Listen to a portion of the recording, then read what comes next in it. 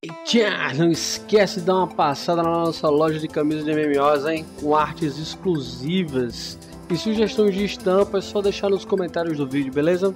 Então vamos lá. Are you ready, baby?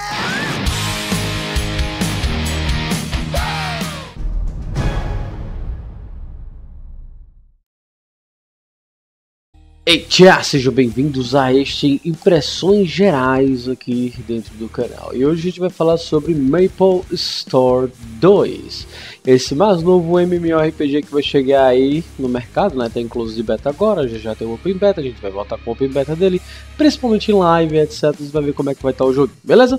Nesse Impressões Gerais eu vou trazer para vocês uma síntese daquilo que eu já vi dentro da live e trazer uma, uma opinião mais contida, mais é pra o pessoal ver um vídeo menor, né? Pra poder ver as coisas e tal. Tá apresentar tudo aquilo que eu já sei sobre o jogo e aquelas coisas que eu observei. Vamos começar primeiramente com a criação de personagens, né? Nós temos as classes Knight, Wizard, Archer, Thief, Assassin, Heavy Gunner, Priest e Berserker. Basicamente a gente tem espada e escudo, magia com staff, arqueiro com um petzinho de águia, o Thief que usa duas adagas, um assassino que usa duas é, shurikens, ou seja, ele ataca de médio range, longa distância ali no assassino no caso. Ambos ficam invisíveis aqui. Temos o Heavy Gunner com uma machine gun, temos a Priest com um livro e um cetro e temos o Berserker com a Great Sword, tá? Dentro da criação de personagens, nós temos uma criação de personagens de anime chibi, né? temos uma criação de personagens bastante interessante. Lembrando que o jogo ele tem uma das grandes, uma das grandes características dele é ser um jogo de customização, ou seja, você vai poder ter diversas opções de customização para o seu personagem pós-criação. Ou seja, você tem a customização básica aqui, né? alguns cabelos, é, cores, faces, tá vendo? Cosméticos, skin, é uma roupinha inicial em cima, uma roupinha inicial bottom aqui um sapatinho, né? Tanto masculino quanto feminino. Nós temos aqui, né, uma customizaçãozinha básica, né? Mas dentro do jogo você vai ter diversos outros tipos de customização, roupas, cabelos e etc. O gráfico aqui tá bem ok, né? A gente vai aqui pro gameplay agora.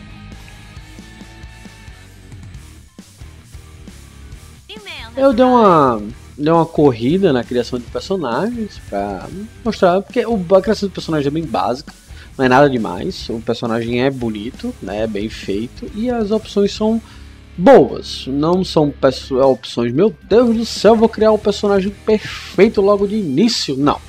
Mas é aceitável, pelo menos para mim ali está no limite do aceitável para você dizer assim, é, beleza, daqui tá tranquilo.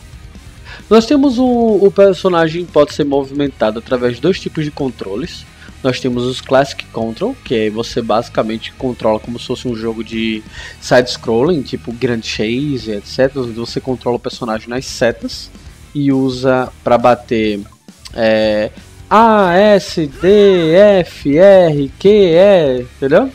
A resposta do controle tá ótima, né? Você não é, não é, pelo visto não é sensível ao ping, você se movimentar, então você se movimenta bastante livremente.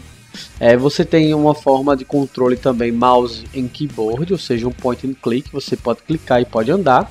Anda no WSD e tem para bater também Z, X, C, V, Shift para usar um skill, é, e T. Ou seja, o jogo ele não se não acho que o jogo é target por causa desse point and click aqui, isso aqui é só movimentação, tá? O jogo é, é de ação, isométrico, né? Você aperta aqui, ele vai batendo e vai bater em todo mundo que tiver ao redor aqui, né? Como você pode ver. Muito provavelmente os jogadores vão optar por jogar o jogo.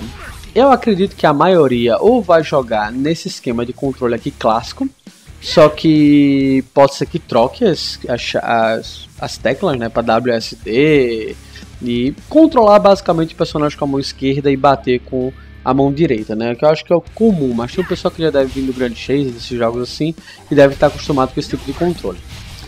Com certeza, uma boa maioria, e eu aconselho você jogar o jogo desse jeito, é jogar o jogo utilizando gamepads, que é basicamente você utilizar um controle. O jogo está ótimo para se jogar com controle. Eu particularmente preferi muito jogar o jogo com controle. Dá uma sensação bem legal, tá muito bom. Tem a custo, tem a a, a própria é, é, nativo dele, né? Você não precisa de nenhum tipo de programa externo para poder configurar esse tipo de situação no jogo. Isso é muito bom.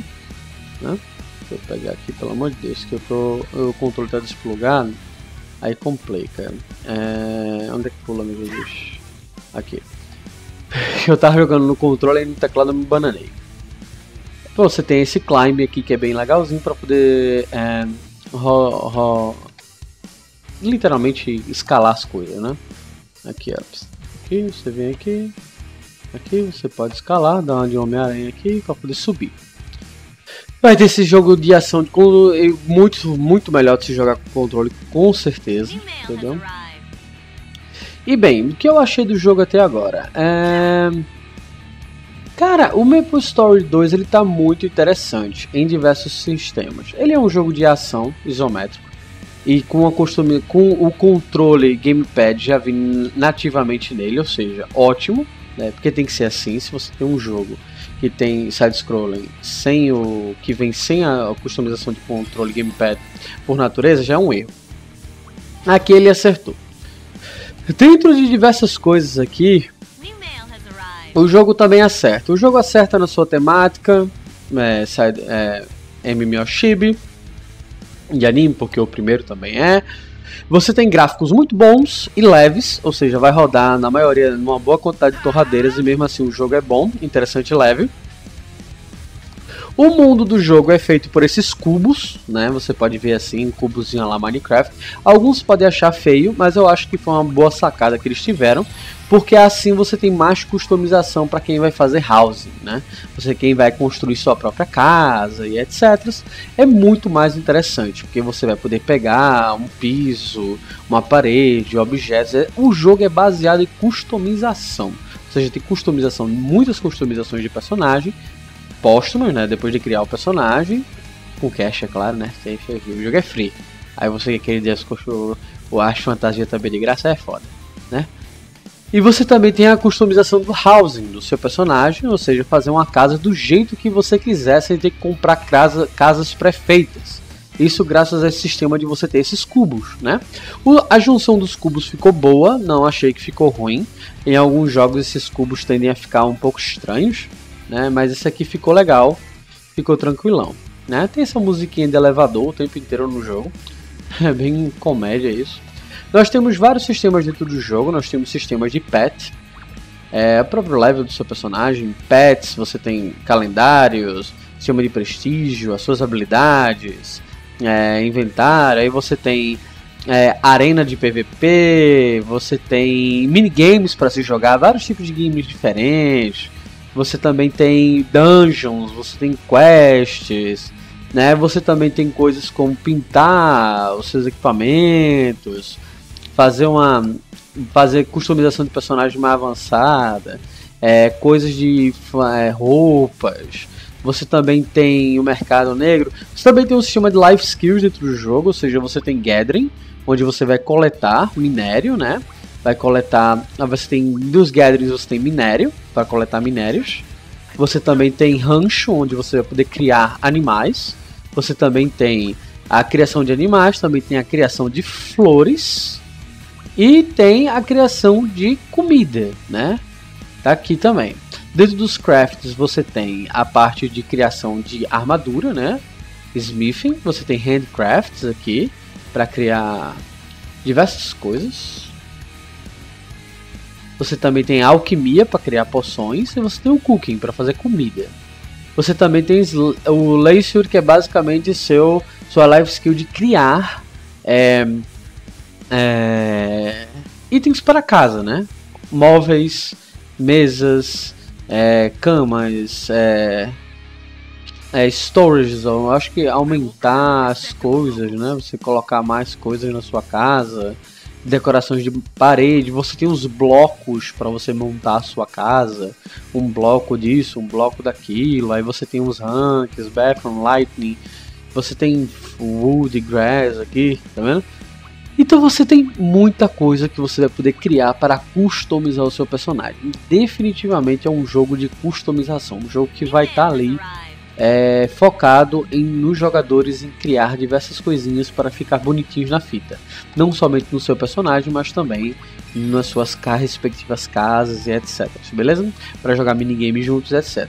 Mas você não vai confundir Maple Story 2 como um jogo casual que não possui uma dificuldade dentro do seu gameplay.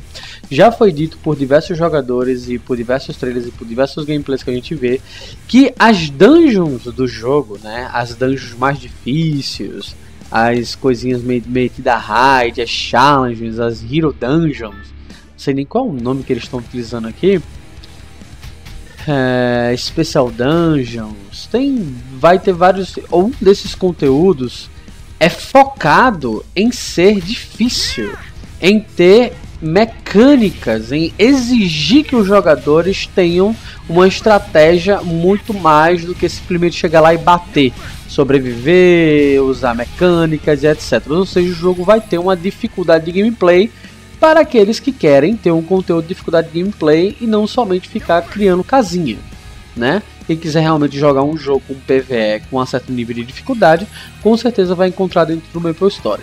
Acredito que o Maple Story é o tipo, o Maple Story 2 vai ser um jogo que só vai é, desagradar aqueles que definitivamente não gostem do estilo de gráfico anime chibi aquelas pessoas que olham para esse gráfico e acham infantil demais, não jogaria porque é infantil demais. Basicamente, acho que a grande questão aqui é o jogador que não vai querer jogar Maple Story mais pelo gráfico, porque em termos de gameplay, coisas para se fazer, é, opções de customização, de coisas para se fazer dentro desse arquetipo de, de life skills, customização e dungeons, conteúdo em grupo e etc. Até mesmo porque a, a quantidade de classes está bem abrangente para um jogo que acabou de lançar. Geralmente a gente não tem essa quantidade de classes dentro do jogo que acabou de lançar. Esse é um detalhe importante. Geralmente eles prendem classes, deixam só quatro classes iniciais. Aqui tem um monte de classes iniciais. Então você tem essa, essa vantagem também, tá? Então vai estar tá agradando bastante jogadores sim. Que consigam, claro, suportar o gráfico mais utilizado. Né? Em termos de PVP player, não sei como é que vai ficar a situação. O jogo é de início é bastante fácil o combate, mas como é um combate de ação e de side scrolling, tendo uma quantidade de combos bastante interessante, vai fazer com que os jogadores também tenham uma certa dificuldade. E quem for bater o X1 da vida vai ter aquelas coisas de combar, usar bem o seu personagem, etc. Vamos ver por isso aí também. A gente vai ter que ver isso aí mais no futuro se realmente vai rolar com é, feedback de jogadores que gostam dessa parte de jogo. É, possibilidade para isso o jogo tem, por causa que ele é de ação, né? Side scroll, certo?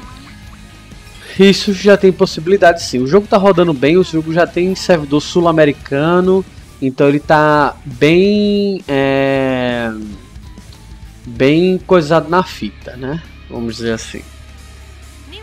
Para acontecer. Batalhas de longa escala, eu não sei se vai ter. PVP em mundo aberto, muito provavelmente não vai ter, certo? Mas quem sabe tem alguma hora né? E diversas outras coisas aí que a gente também não sabe muito bem vai, se vai ter sim ou não. O futuro vai dizer. Mas basicamente o jogo ele entrega um para um jogo que está acabando de ser lançado aqui. Algumas vezes as empresas tendem a pirangar, né? É, lançamento. Ele está entregando um pacote de opções e de gameplay bastante avantajado, na minha opinião. É um lançamento com bastante conteúdo. Algumas empresas gostam de ficar zoando o conteúdo, né? De início, podando e etc. Mas parece aqui. Se o jogo no Coreia tem infinitamente coisas a mais do que o que tem aqui agora, ótimo, entendeu? Ótimo. Eu conto com isso para falar a verdade. Geralmente ele, o jogo vem podado, né? Então se esse jogo está podado, então ele com certeza tem muito conteúdo. Vamos ver como é que vai ser daqui para frente, na é verdade? grande. Então é isso, galera. Espero que vocês tenham gostado. Isso aí é minhas impressões gerais do Maple Story 2 para vocês. Tá, eu acho que eu falei basicamente tudo que eu achei de início no jogo, né? E bem, espero que vocês tenham gostado. Coloca aí nos comentários o que vocês estão achando de Maple Story 2. Se você vai jogar muito quando lançar o Open Beta, se você não vai gostar, se você faz parte do time que não vai gostar por causa do gráfico que você não aguenta um gráfico mais infantilizado, ou se você faz parte do time que sempre quis um jogo com um gráfico bom, com muito conteúdo e etc, que tem esse estilo de gráfico anime chip, né? Então é isso aí. Um grande abraço a todos. Eu vou nessa. Falou. Eita. Fui! E não esquece de dar uma passada na nossa loja de camisas de MMOs, hein? Com artes exclusivas e sugestões de estampas, é só deixar nos comentários do vídeo, beleza? Então vamos lá.